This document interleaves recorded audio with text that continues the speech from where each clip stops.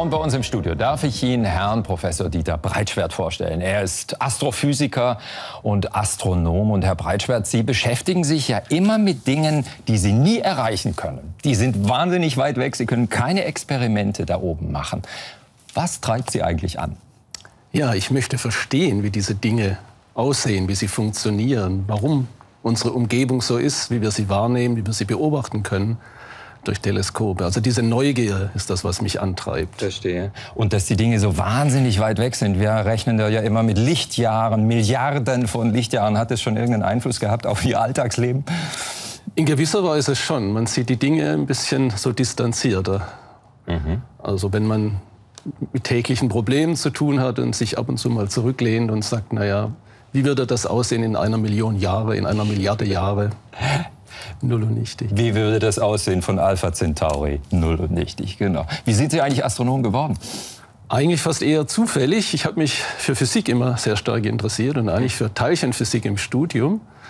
Aber dann konnte ich mich nicht entscheiden, was ich als Diplomarbeit machen möchte. Und dann habe ich gesehen, in der Astrophysik gibt es wirklich alles. Mhm. Die Astrophysik ist die Physik der Extreme. Mhm. Die höchsten Dichten, die höchsten Temperaturen, und das hat mich dann fasziniert und in der Astrophysik kann ich praktisch alle Teilgebiete der Physik abdecken. Verstehe. Nun haben Sie ja ganz große Vorgänger sozusagen. Galileo, Kopernikus, Newton hat auch in die Sterne geguckt. Und die hatten ja alle das Zeug, um unser Weltbild komplett zu revolutionieren. Die haben ja letztendlich die Menschen auch damit verändert. Die Zeiten sind vorbei für die Astronomie, oder? Keinesfalls. Also die Astronomie war eigentlich immer der Taktgeber, wenn man das mal bisschen aus der aus der Distanz betrachtet in der Historie. Wie Sie richtig sagten, Newton war eigentlich mhm. der erste Physiker sozusagen heutzutage im theoretischen Sinne, aber er hat auch Beobachtungen gemacht. Ja. Er hat ein Fernrohr gebaut.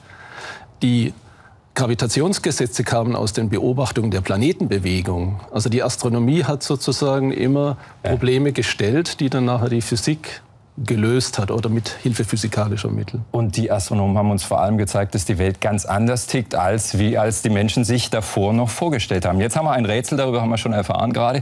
Die dunkle Materie, hat die vielleicht das Zeug, unser Weltbild auf den Kopf zu stellen?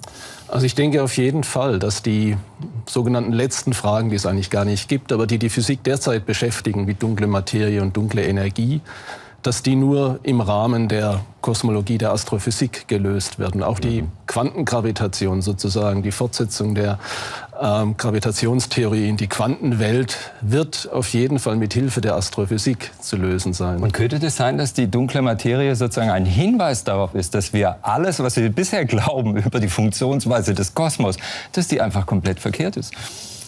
Soweit würde ich nicht gehen. Also ich glaube, unsere physikalischen Fundamente sind sehr solide. Es wird sich fundamental nichts ändern an unserer Quantentheorie vielleicht oder an der äh, Newtonschen Gravitationsphysik. Aber wir werden natürlich vielleicht eine neue Perspektive bekommen. Wir werden die Dinge in einem größeren, in einem anderen Zusammenhang sehen als vorher. Und das wird unser Weltbild nachhaltig beeinflussen. Mhm. Würden Sie eigentlich gerne auch mal, vielleicht nicht bis zu den Sternen, aber bis zur ISS fliegen? ich persönlich eher nicht, denn ich äh, interessiere mich mehr sozusagen für die Funktionsweise der Dinge. Ähm, ich muss die nicht direkt mit der Hand anfassen, sondern mir genügt, wenn ich sie verstehen und beschreiben kann. Sie vielen Dank fürs Gespräch, Herr Breitschwert. Vielen Dank.